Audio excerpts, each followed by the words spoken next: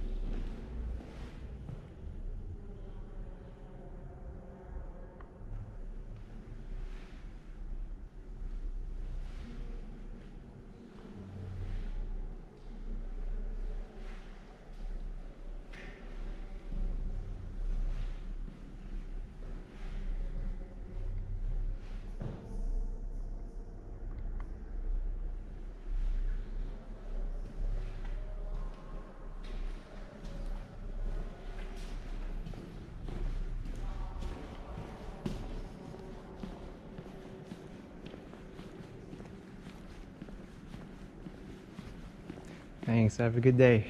You too. That flag is so old. Yeah. It's from his funeral.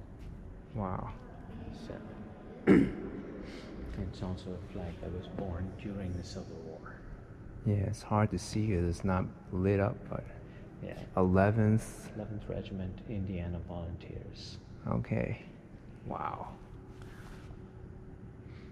Let me count how many stars there are 5, 10, 15, 20, 25, 30, 35.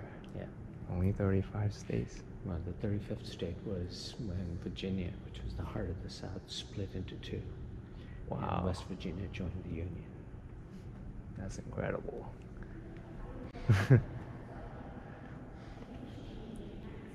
yeah. Nowadays, when I think of the United States, I can never think it with less than 50 states. That's right. Yeah. All right. Take care. Take it easy.